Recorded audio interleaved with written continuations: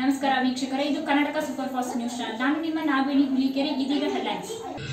ಹೂವಿನಹಡಗಲಿ ನಾಲ್ಕನೇ ವಾರ್ಡ್ನಲ್ಲಿ ಮುಂಜಾಗ್ರತಾ ಕ್ರಮವಾಗಿ ಔಷಧಿ ಸಿಂಪಡಣೆ.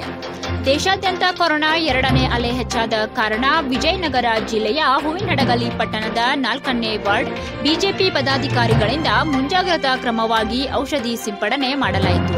ಸದಾಕಾಲ ಸಮಾಜದ ಹಿತರಕ್ಷಣೆಗಾಗಿ ಶ್ರಮಿಸುತ್ತಿರುವ ಹಣ್ಣಿ ಶಂಭುನಾಥ್ ಇವರು ವಾರ್ಡ್ ತುಂಬಾ ಔಷಧಿ ಸಿಂಪಡಿಸಿ ಸಾಮಾಜಿಕ ಕಳಕಳಿ ಮೆರೆದಿದ್ದಾರೆ.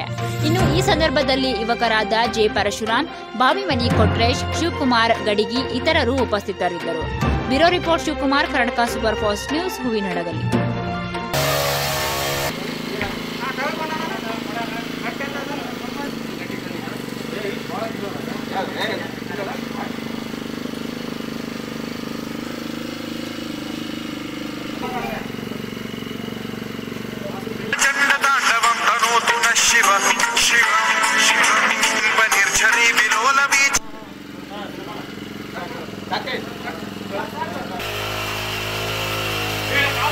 ఇక్కడ వచ్చేతాను.